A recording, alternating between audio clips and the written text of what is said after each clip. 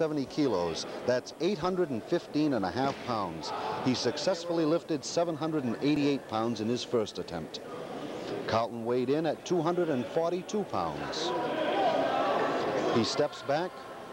He's getting his footing. That's 815 and a half pounds for his second attempt.